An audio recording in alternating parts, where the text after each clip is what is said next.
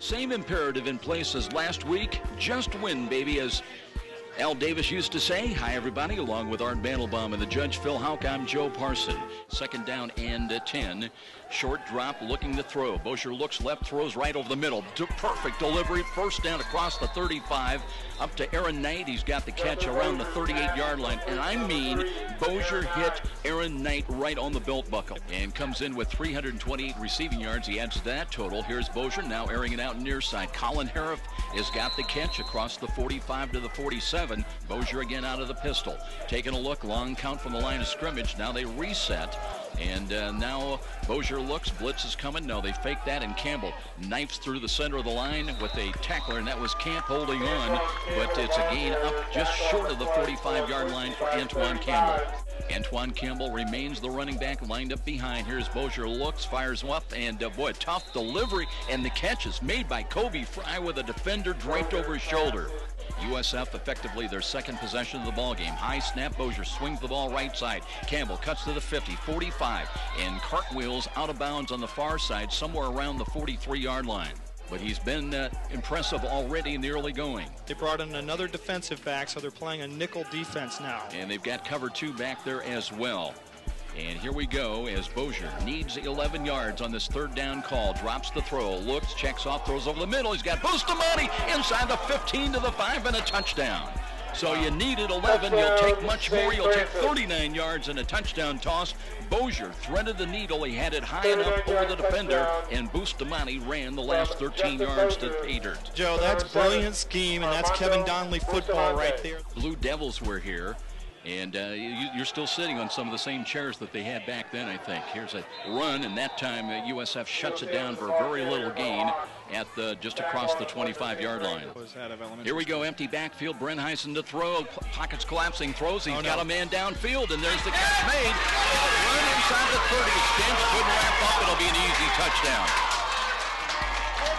Sergeant Schoch ball to the fans on his way to the field. That is going to be a 74-yard touchdown play as Quincy's on the board there, a conversion from tying this ball game up. Wow. I don't know what you say. So Justin Boser uh, trying to hang on to the football now. USF has been victimized. Four fumbles here already in this first half. Boser time in the pocket all day. Throws and hits a receiver in the seam at the 42-yard line of Quincy. That's a good delivery and a good grab by Armando Bustamante. A little comeback pattern. Quincy back in cover two defensively. Now they uh, shift out of that a little bit. They drop back in zone as Frye comes out. The give us to Campbell. Running room at the 40, 35, right side. Trying to get a block at the 30, 25, 15, 10, 5 touchdown, Antoin Campbell. He went out of bounds. They said he went out of bounds at the 14. I thought he was clear, but the line judge was right there. On this second down and 11 call, long count from the line of scrimmage. Here's a low roll to the left side. They throw to an open receiver. That's Bryce Thornton down inside the 10 to the 9. They'll keep the clock moving with 7.20 remaining. Frye up on the wing to the right side. Andre Turner comes in at fullback. And Campbell is the halfback. He comes in motion, and they give the ball to Andre Turner, and he plows ahead down to the six. Let's call it a 24-yard attempt. Little, uh, well, actually, middle of the field. And a bad snap again. That's fumbled away, picked up by Carmen. Looking to throw. He's got a man open. Boy, I tell you what, he had two men open, and he chose the wrong one Quincy's ball, and they've got it on their own six-yard line. And they hand off the run Salmons, and Salmons runs into a wall at the five. He's going to lose a yard. Boy, that was a good tackle. I think it was Calbaugh who came up and made it. Backs up now to the goal line. Little motion right to left. He needs 11 yards to the 16 to convert. Trying to screen the ball. He's got Salmon. Salmon's cut to the 5, to the 10, and knocked down at the 15-yard line. He's close to a first down. down. He's got it. The short side of the field. Empty backfield. Brent Heisen, time of the pocket, and he runs out, and he's sacked at the 10-yard line. And the Cougars were coming that time. Draven Stott got him, came off the corner. Nothing fancy. It was a three-man rush. We were in a uh, passing defense. Little motion from right to left. One of the, that's Gower, the intended receiver. Here's a middle screen. They've got Castleberry. Castleberry running across the 10 to the 15, got to the 16-yard line, so he, he gets uh, a lot of that lost yardage back, but he'll still bring up third down and 10. Third down and 11. In Brenheisen again to throw. Steps up in the pocket. Scrambling to his right. They've got him. Did he hold on to the ball? Ball timeout, please. Brought down across the 15 to the 16-yard line. Sorry about that. I got a little excited. First and 10, USF in a 7-7 tie. Boser with two wide to the right side. Takes the snap, looks, hands it off. No play action fake. Wants to throw. He's got Cam Colvin down deep and tipped the ball back to himself. Touchdown! Volleyballed the ball to himself inside the five and made the catch 50 yards on the touchdown play. And USF back on front at 13-7. I do not believe that. That was unbelievable, Joe. Austin Coleman, the ball was really overthrown, and I think he was interfered with because the defender was literally on his back. He reached out and jumped and tipped the ball up and then ran under it and caught it and kept going. The defender fell down at about the 10-yard line. And who needed the timeout there before? We only needed time to make one play, eight seconds. He's a pretty good, talented player in his own right. And here's Boser wanting to throw. The screen is set up nicely, 35-40. And run for the first down. That's Knight on the receiving end across the Cougar 45 to the 47-yard line. Boser ready to take the snap. Short drop. Now throws back to the left. And wow, let's see. Laying out for it is Knight. Did he get a foot in bounds? He did. A catch and another first down at the 43. Let's see if Boser uh, spots him. Here is a pass, though. The Knight again at the 40 to the 35, down to the to the uh, inside the 30 to the 29 yard line is where they spot him down. They'll move the chain so the clock stops with 104 remaining. Empty backfield for Boser. Motion out of it. Josh uh, Miller and they hand the ball off. He wants to go to the right. It brings it back to the middle and gets five yards, or about four actually, to about the 25 yard line. Now sets up the wide to the right side as Boser wants to throw to him in the slots. Got him and takes a big hit and lost the ball. The Cougars jump on it at the 16 yard line. So, and that may be good enough for a first down. It will be. And here is Boser with the snap. Option run to the left side. Wants the throw and airs it out to the 11-yard line. Bryce Thornton made the catch from the 18-yard line, 19-yard line. Let's call it a 29-yard attempt. And the ball is set down this time. The kick is long enough. Is it on target? And it is good. A 29-yard field goal by Mo Ueber will make it a 17-7 ball game. USF on top. We'll keep things right here with 17.9 seconds remaining. Coach, uh, your offense threw the ball extremely well in the first half. Ball security an issue, though. Yeah, I don't know. Crazy stuff. You know, we just didn't hang on the football. We turned it over once. Not handling the football very well. We're going to try to do better this half. Okay, well, good luck in the second half, Coach. A lot of talk in the locker room about that ball security issue. We only turned the ball over once, but it resulted in a lot of negative yards when we did put the ball on the turf. Second down and 11 after the lost yardage. And a pitch comes right side. Antoin Campbell bobbled the ball, leaps over one tackler, and dives for a first down stick.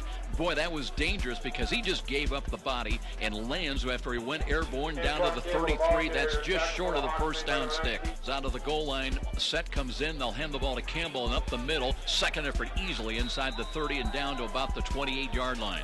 And see if Turner's in there. Andre Turner at fullback. Motion by Campbell. They give the Turner off tackle run, counter run, and he bowls his way down close to the 20 yard line. Cougars stay in that same goal line offense. Everybody tight except for one uh, wide out. Motion out of it, right to left. They'll hand the ball off in a sweep. That's Koby Frye. Needed a block. Cuts at the 20. Leaps over Ooh. tacklers again. Goes airborne down to the 15 yard line. And long count from the line of scrimmage. Here's the screen. They've got Knight. Cuts at the 20, 15. Steps out of a tackle. Spins inside the 10 and dumped down around the 7-yard line. That's a nice job of running the YAC yards.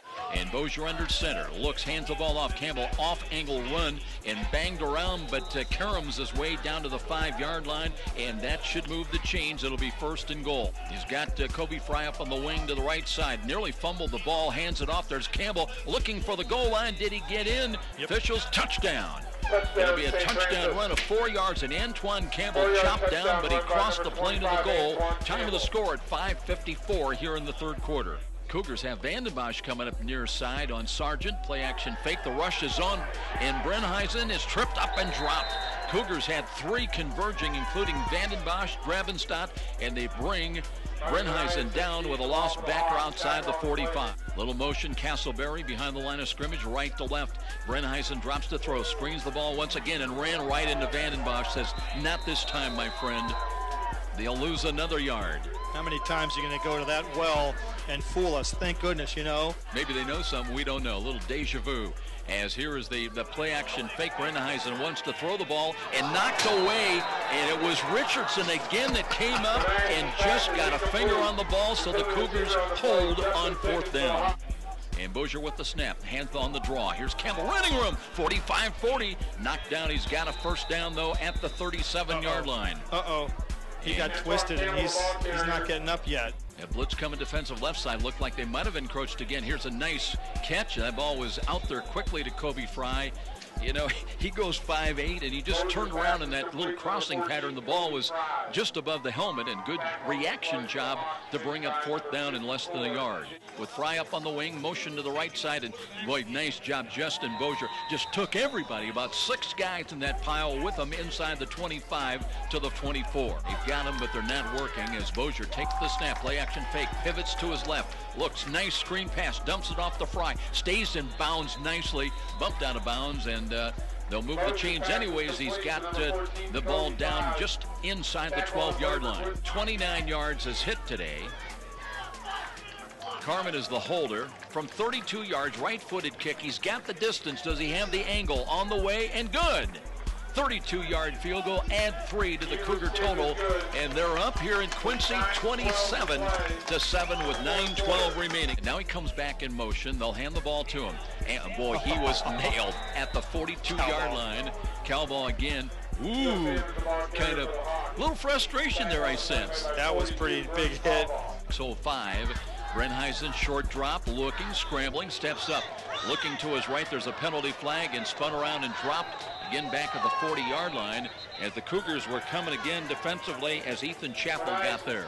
And Wes Hunsucker motion and uh, keeps the ball himself running room, cuts to the 35-yard line and lost the ball, but he was down on contact around the 33.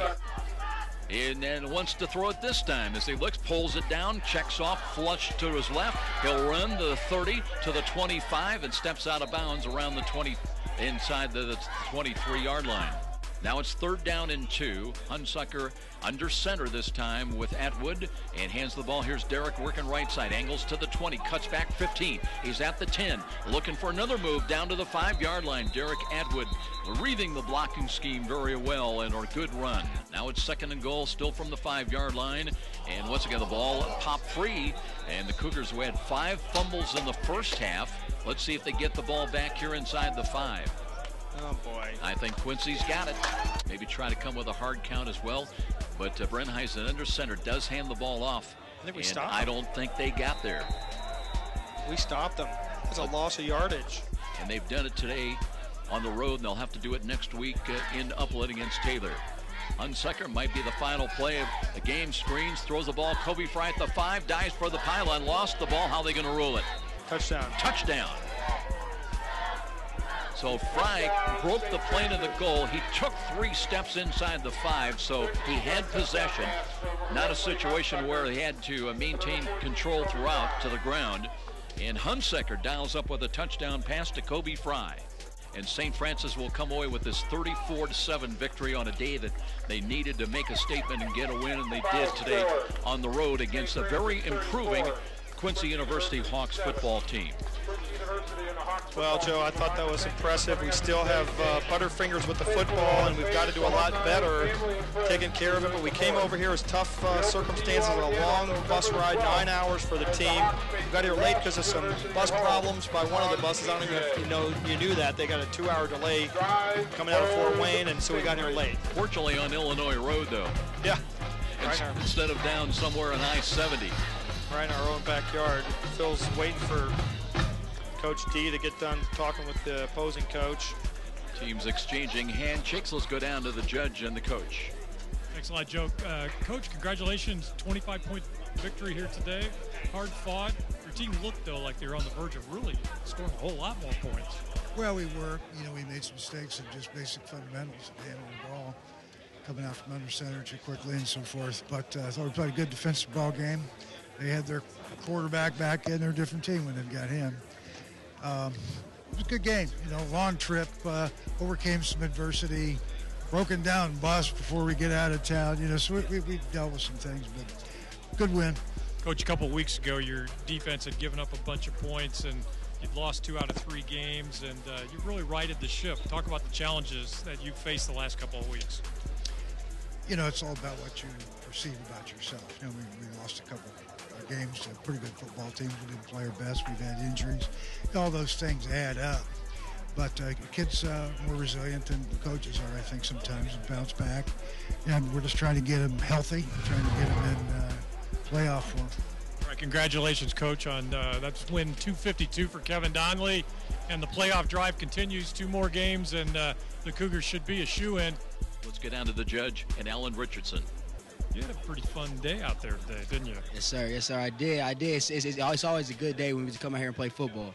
Well, talk about the challenge you had, uh, especially at halftime. I know a lot of talk about their two wide receivers, Dickens and Sargent, and how we were going to try and put the clamps on them because they they gained some yards in that first half. What did we do in the second half to shut them down? Well, like what, what we did was we uh, we, we, we had our, our, outside backers come out and help our, help us cornerback. So so the outside backers would get in their face, give them pressure. They would pass them off to me and the other cornerbacks, and we just had we had to do what we were supposed to do, make plays. And that's what we did. One particular big play I thought you made in the second half was when we never knew whether their uh, their quarterback was going to punt the ball or throw the ball, but they ended up running the fake punt late in the third quarter, and you came up with a big play. Talk about what you saw on that play. Well, well, at halftime we uh, we uh, we made an adjustment. The coach said fourth down, stay in coverage. Like don't don't even worry about a punt, stay in coverage. So I dropped back. I used my zone technique. I saw a ball being thrown. I broke the ball. Tried to pick it off, but I was just a step too late. You know, this defense had given up more than 40 points in three consecutive games.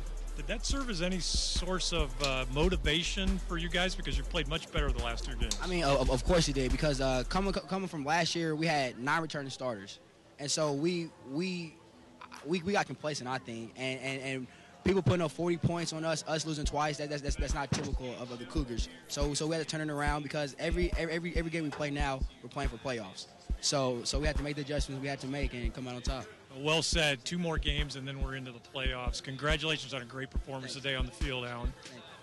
I've also got uh, Aaron Knight here. Aaron, who had uh, six catches today, 83 yards. Uh, a pretty big day. I think he had five of those catches in the first half. So when the offense was kind of turning the ball over and sputtering a little bit, you kept things going. Also, uh, a nice job of returning punts today. Uh, just talk about what the offense was seeing out there today. You're moving the ball well, but little mistakes were causing us problems. Yeah, I mean, we gotta stop stop turning over. Um, you know, we had a problem in the past. That problem in the past. Uh, we just gotta overcome that, get better every game, and uh, I mean, hopefully we'll learn. Um, get that under control. Well, what areas of this offense right now, uh, you know, we lose two out of three games. What areas have been the focus in practice that we're trying to improve from week to week?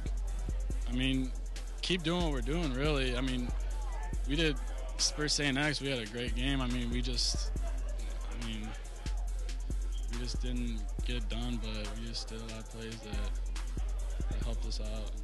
Well, your your own personal game has been strong. I mean, you're a good possession receiver, and obviously hands are are your best attribute because you're back there fielding punts. Talk about your own game and uh, where you're going with that. Yeah, I mean, I'm just considered as a possession receiver. I don't really go deep at all.